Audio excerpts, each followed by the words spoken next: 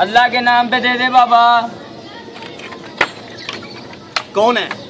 अल्लाह के नाम पे दे दे दो दिन से कुछ नहीं खाया। बहुत भूख लग रही है।